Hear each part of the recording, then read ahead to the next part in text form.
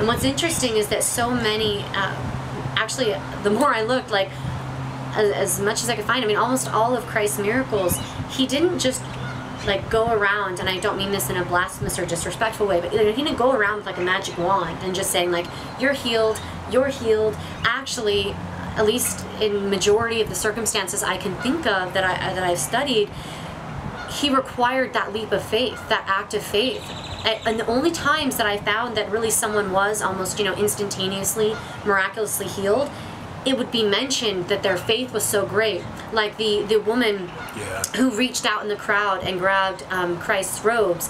It describes that her faith was so strong, she knew if she could just touch him, that she would be healed. But, however, other people, if someone came to Christ and said, you know, oh, my brother in law or so and so in the next town um, is deaf or blind or, you know, in a coma, this sort of thing, not, they're not waking up, most of those times that, that Christ took action and performed miracles, it would require the individual to go wash, you know, or they would have to go gather something. Um, you know, even with feeding the multitudes, you know, turning the the the bread to feed the I think the five thousand or whatever. He it was always he would ask people to go, you know, go get this or go do this or go, you know, perform this act, and then he would perform the miracle and that was really interesting to me and it, it also gave me perspective of even you know as a pisces sun we love to help people and give service and, and that's the reason I, I you know to be honest transparent why i was studying it is is how and whether you believe in christ or not you know you can just see it for its um uh, its you know symbology of the, the meaning of the story of just giving acts of service that i was studying it to see you know how did he even give love and give service? He didn't just go around wasting his energy and just you know giving of it with, without any cause. He asked people to participate in that healing process to participate in the miracle process and so it's just really interesting that you know why would it be any different for us here on this earth you know whether you believe in god or christ or gods or you know spirits or angels and whatever it is why would it be any different that that they would just hand us life on a silver platter? That we wouldn't be asked to go wash in the river to go gather you know the, the oil or to, to gather the bread or whatever it may be.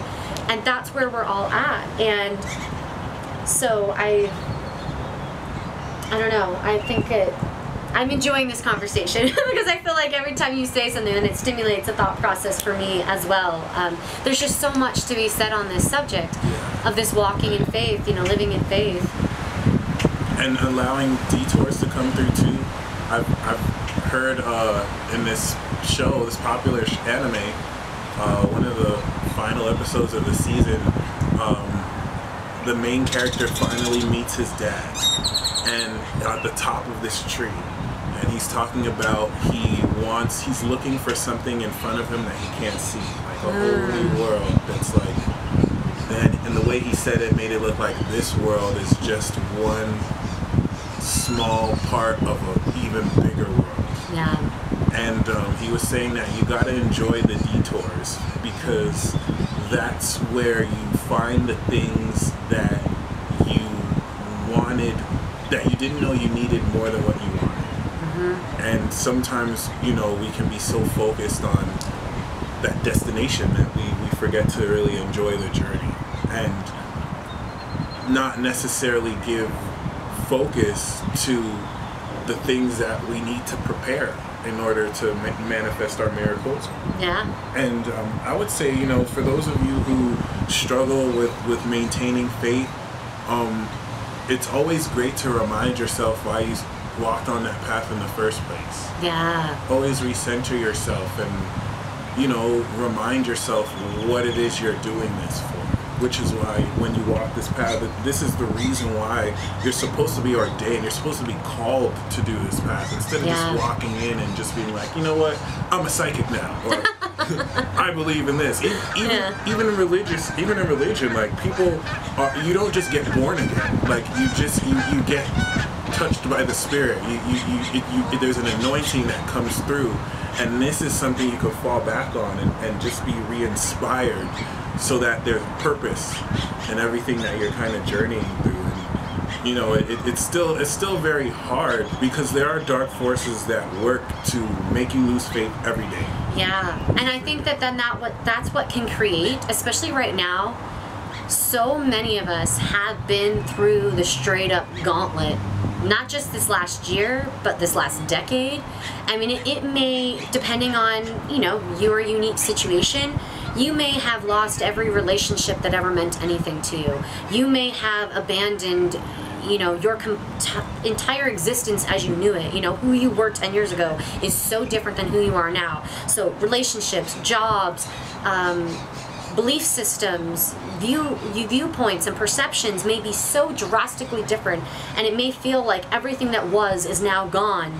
And maybe throughout that process, there's been tremendous amounts of pain. Maybe you've been, you know, eaten up and spitting out, used, abused, lied to, cheated from, you know, stolen from, uh, lied to, just stabbed in the back, sabotaged, you name it, you know, and not to focus on the negative, but that's the reality that many of us have been in, and it's been hard and it hurts, and that creates wounds and that creates um, uh, predispositions to triggers. And so, in that process of this surrender, I think it's also important that we embrace a and embody a sense of receptivity, that feminine energy. People feel the rise, the rising of the feminine, and there's a rising of the masculine as well. And I think that's what brings about that kind of magnetic give and take, that sense of reciprocity. So most of us have been pushing, we've been giving, pushing, doing, doing, doing. Now we have to also be willing to receive to help bring about that balance of our masculine or our feminine even within us. So maybe you're being offered right now the job of a lifetime. Maybe the partner of your dreams has just shown up. But guess what? Many of us are so damaged and bruised and scarred that we're looking at exactly what we've been praying and working to manifest for so long. We're looking at these circumstances and going, is this real?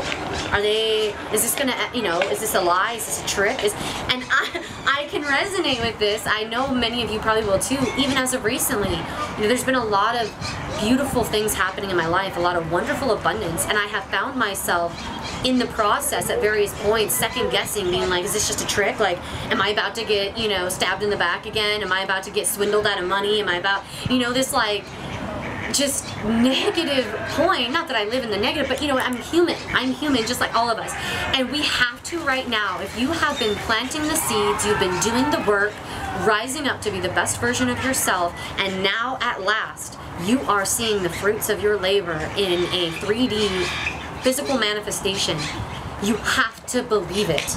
If it feels right, if it is exactly what you've been asking for, praying for, working towards, then you have to be willing to receive because if you do not, it will move along. Yeah. this is, you know, I mean, why you if you keep trying to give someone a gift and they won't take it and they just keep throwing it back at you, ultimately you're probably just gonna walk away with the gift. Like you can't give someone a gift if they're not willing to receive it. And so that's a whole part of that process is continuing to take the leaps in faith. And if that's what you've been doing, and now you're seeing the fruits of that labor, believe it, receive it. If it feels right, it is meant to be. I've, i can definitely uh, um, relate with like being so disappointed that things just seem too good to be true and you just yeah. get too excited so yeah like oh what's gonna happen that this time mm-hmm. so uh, i feel this especially with love yeah and with connecting partnerships mm-hmm. it's like um, people are afraid to really be in love again because it's like when's my heart gonna get broken this time and even if you're partnered, even if you're actually in a healthy relationship, you may still find yourself at this time in this duality, this dynamic of trying to accept, like, is this real? Or is my partner still, like, is the bomb gonna drop any moment? Are they gonna leave me at any moment? When, so that's where we have to tune in because if there's nothing else that is supporting that, and it is just a fear, then we have to let it go. We have to release. But it's only, you know, on an individual level that you can listen to that. If sometimes when we get that feeling of it's too good to be true, it's for a reason. And those are positive uh, warning signs to like let you know, you know, move along. But sometimes when we get that feeling, it is our own insecurities, our own fears from these broken hearts. So you just got to tune in and you have to be willing to receive. especially especially in a period like now where these are these dreams are being made real Yeah. not of course to like finally celebrate but to like give us something to move forward with Yeah. as, as you know we've been so busy journeying that uh it was it was amazing seeing all these ducks we got ducks and geese and everything everywhere. Oh I wanted to turn the camera. I know. We almost. We probably should get like some little B-roll so everybody can see. It, it, it, was uh it- it's it's amazing though to see this manifesting and like it, we- we've been so busy journeying that Yeah. sometimes you need to so i guess that could be part one Uh, do you think that like just part one? Like, how, Or- how much more do you want to like? What else do you want to say? Like, i think we covered a lot I, that we did. That's what I'm saying. Is like I don't. I think we could make two parts out of that. Out like of that. that, okay. Like we could probably say a few more things and you know and then wrap it up and have a conclusion.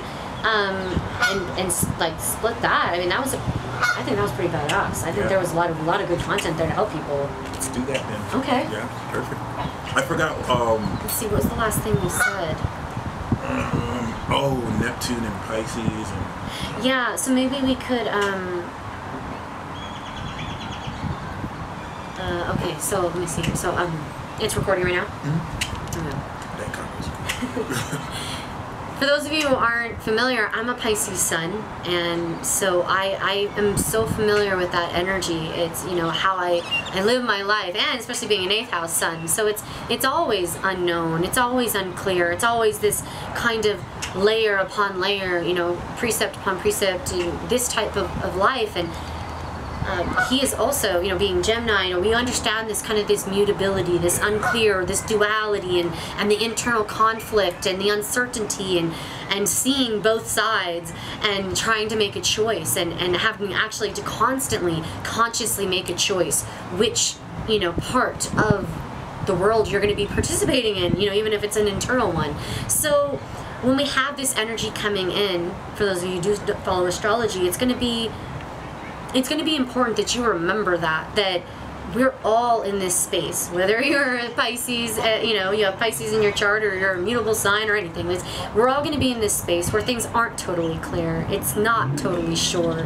Um, we're coming to this culmination. We're coming to the the final you know steps of the the harvest uh, season. For those of you who garden i'm a gardener. And you know when you begin to you're getting very close. You might even see the beginning of fruits starting to form but that's not when you stop. If you just start neglecting your garden at that point, the plants are going to shrivel, the fruits are not going to continue to, to grow, and you will not get that harvest. Yeah. So if you can think about it that way, that's where we are right now. You don't know how many fruits are going to appear. You don't know how big they're going to be, how juicy they're going to taste. Like, you don't know exactly what the full harvest will look like, which is what we're leading into for 2020. So for right now, it's just a matter of continuing to tend that garden because now things are actually starting to grow. You're starting things are starting to fruit. So go with that. Trust it. Don't at that point just be like oh my garden's going to die anyway so i might as well just abandon ship. You have to continue to, to, to, to walk the path and to do so in faith without full clarity or knowing and have a belief that it will feed you through the winter. and so it's it's really quite beautiful and I at least in my closing words, you know, I really hope that that, that was um, hope it provided hope and inspiration for you guys. That if you're feeling these types of feelings at this time, and knowing that even Mike and I, that you know, may be experiencing different abundance in our life, that we're feeling those feelings too. That we're all experiencing this. We're in it together. And make sure you leave a comment to share with us what you're feeling. Um, what are your closing thoughts, Mike? Well, I mean, um, you do reap what you sow. So if if what you're reap if what you're sowing doesn't reap, then you want to look at what you're sowing. But one thing that's so important is Neptune and Pisces can seem bittersweet. It's ultimately divine, but the way that we are programmed is so outcome oriented Yeah. that if we don't get a specific outcome, you're gonna think of it as a failure.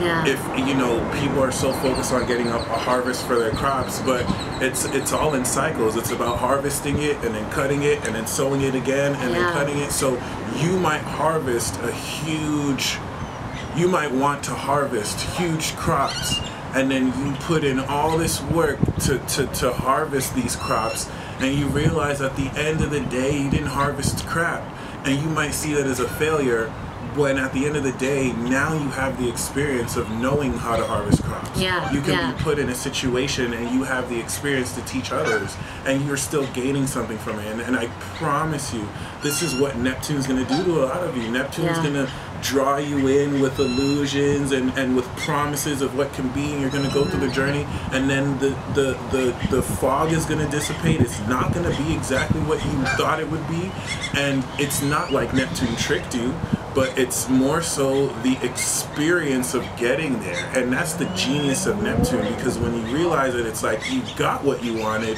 but it's not like you thought it would be. Like you may not have gotten the outcome or maybe you do get the outcome but it's more so like the experience involved Yeah. in getting there and, and So sit true. and reflect like oh this is why i had to be guided along this way because sometimes we don't know what we need and we have to go through certain experiences so my final word really is don't don't let the way things seem. Don't let the outcome you know deter you. Don't let what you think the outcome will be deter you because there's always surprises along the way. And just remember why you're walking in faith in the first place. Yeah. and and you know it's it's no one's telling you to just walk completely blind because we have GPS systems to to Yeah. guide us along our way but do allow for there to be random surprises detours do allow for there to be um, the ability for you to to walk forward in spaces that you're not sure of and to walk forward with courage, knowing that you're supported, because there's nothing to give evidence that you weren't supported. Even even in the traumatic experiences you've had, to where you've been able to gain lessons from. Yeah. The, walking in faith is something that's meant to empower you and not fear you. and finding a home, a family, a tribe, in however that looks. Sometimes for some of us, that isn't our, our actual, um, you know, family, our actual blood relatives. You know, sometimes it's places like this here in these communities, and so I think the greatest joy to help us navigate these these paths is just to to, to love and be loved in return, and to to have good friends. Thanks, guys. Peace. They only call the most high when the most die. If I make a bird flap to get the dodo up, we'll both cry. Except for me, these tears make me feel a soul vibe. Earth, wind, and fire. Water on the mic, but we ain't both live. Really, I'm dead. Since I got a chain on, ain't no spirit there. Then go get 'em one. Young light bearer, they ain't even lit up one. With that 9 to 5, I used to save a dime. Worked two days for two jobs. Remember, we had went from 2K to true crime. I'm the fucking king of all time. You lame, low life niggas go left because I never be with they plight. All these fucking movements, boy, these wrongs don't make a right. I could become ruler if the stars are just a line. Make a comment just to throw it at the sky. Shoot. Who was like the beginning and the end.